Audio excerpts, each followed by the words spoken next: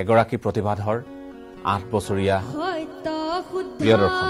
আজি আমাৰ মাজত আহি উপস্থিত হৈছে মৰিগাঁৱৰ বাৰপুজীয়া শাস্ত্ৰবিধি কৰিয়া চৰণ শংকৰকে গুৰু মানি লোৱা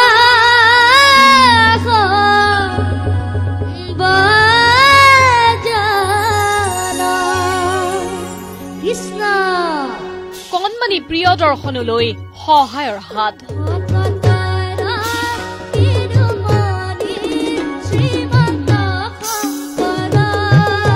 নিউজ এইটিনৰ পৰ্যবেক্ষণ চাই আপ্লুতন বিভিন্নজন গীতটো গাওঁ। কিন্তু আপুনি ক'ব লাগিব কোনে গাইছে। কোৱাচোন তুমি কোৱা? আগবঢ়ালে আৰ্থিক সহায়। জয়ন্ত হাজৰিকাৰ কথা উল্লেখ কৰিছা। হা? জয়ন্ত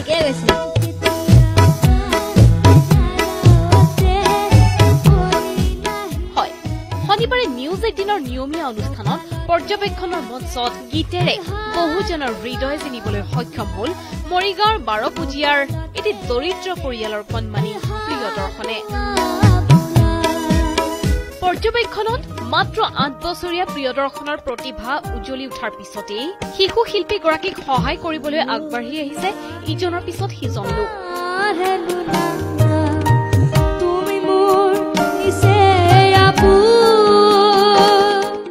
প্ৰিয় দৰ্শনলৈ দহ হাজাৰ টকাৰ সাহায্য আগবঢ়াবলৈ ৰঙিয়াৰ পৰা গুৱাহাটীলৈ ঢপলি আহিল জ্যেষ্ঠ অধিবক্তা হিৰণ্য চৌধুৰী।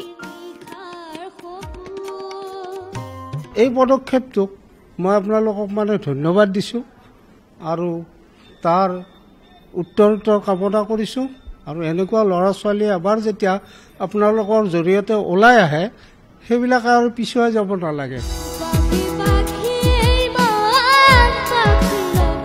ইমানেই নহয়। অধিবক্তাগৰাকীৰ সাহায্য লৈ আৱেগিক হৈ পৰিল প্ৰিয় দৰ্শনৰ পিতৃও।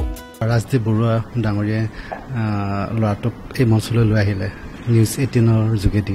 মই সঁচাকৈ মানে এজন বৃত্তি হিচাপে মই যিখিনি সহায় পাইছোঁ মই মানে জীৱনত মই পাহৰিব নোৱাৰোঁ চিৰকৃতজ্ঞ তেওঁলোকলৈ E M M hospital and research চেণ্টাৰৰ স্বত্বাধিকাৰী তথা বিশিষ্ট চিকিৎসক ডাঃ মনোজ মিৰ্ধাই নিজ হাতে নিউজ এইটিনৰ হাতত তুলি দিলে দহ হাজাৰ টকাৰ চেক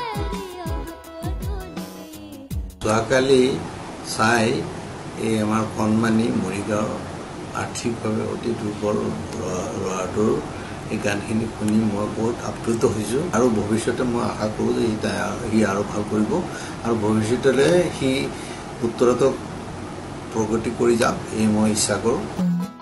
ইফালে অসম কেশৰী অম্বিকাগিৰি ৰাইজ চৌধুৰী গীতৰ কৰ্মশালাত প্ৰিয়দৰ্শনক বিনামূলীয়াকৈ প্ৰশিক্ষণৰ দায়িত্ব বহন কৰাৰ আশ্বাস দিছে দ্য চিম্ফনী নৰ্থ ইষ্টৰ অধ্যক্ষ কৃষ্ণ চৌধুৰীয়ে। সংগীতৰ আনুষ্ঠানিক শিক্ষা অবিহনে কণ্ঠ সুৰ তালৰ ত্ৰিবেণী সংগম ঘটাই জগত জিনিবলৈ সক্ষম হোৱা প্ৰিয়দৰ্শনলৈ আমাৰ ফালৰ পৰাও থাকিল অলেখ অযুত শুভকামনা।